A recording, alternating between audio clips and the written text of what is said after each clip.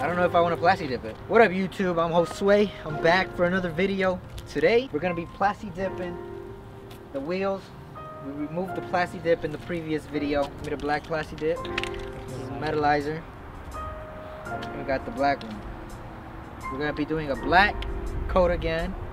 And we're gonna top it off with a metalizer finish. So first off, when you want to plasti dip your wheels, we're gonna have to clean off all the brake dust and, and wash it down and get it clean before we actually apply the first coat.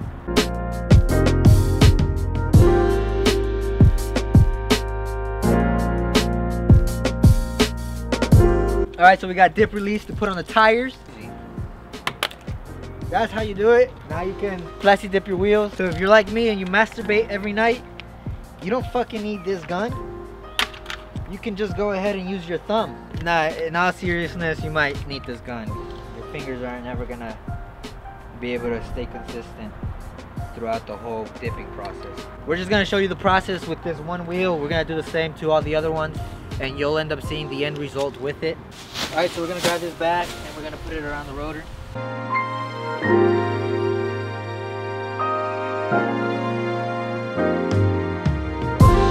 All right, so we're gonna spray a light coat. It's gonna be our first coat. We wouldn't wanna make it that dark. We just wanna prep the tire for the next couple of coats. So you're gonna wanna jack off the can really good. Once you're done jacking off the can, we're gonna go ahead and apply the first coat.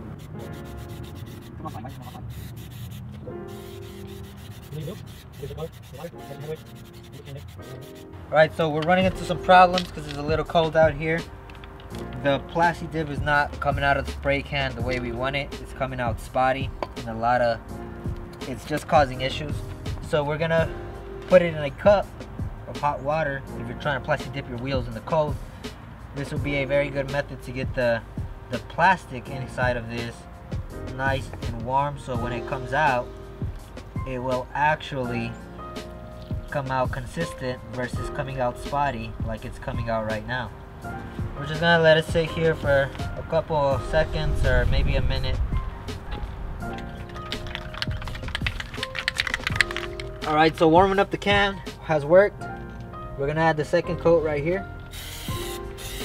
As you can see, it's coming out more fluent and it's not coming out as spotty as the first coat. Alright, so now this is the third coat when you're applying the plasti dip, you want to be as far like five to six inches when you're spraying it, so you can cover it enough and it'll come out even. The closer you get, the the nastier of a look you get. So you want to stay like five to six inches away while you're spraying it. I believe this is the fourth coat. When you're applying plasti dip, you want to make sure you get in all the spokes if you have a rim like this. That way on every single coat it'll come out even. You want to make sure you get under them around them. Make sure you get every single thing.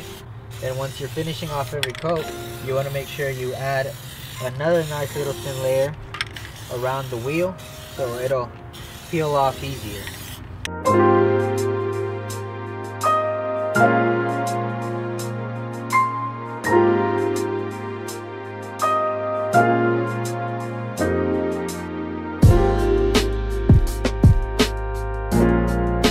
So now we're gonna do the metalizer. I already had it in water since it's still cold right now. We're gonna do three coats of this. This is gonna be the last coat of metalizer.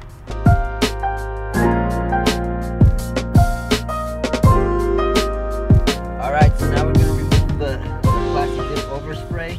With that thing we put in the beginning, it's actually going to help it come off the tire nicely and we're also going to be able to remove it smoothly around the wheel. As you guys can see that came off easily. No need to put anything around your tire. Now we're just going to remove the bag that we used to, to protect the rotor and calipers.